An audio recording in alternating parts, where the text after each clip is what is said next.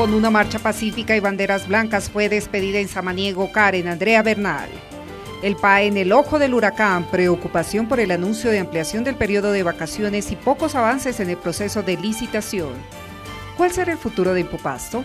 La administración local ya tiene lista una estrategia para la empresa pública. Concejales de Pasto en campaña política en su gran mayoría no asisten a debates. Empezó el proceso masivo de inscripción de candidatos para las elecciones de octubre.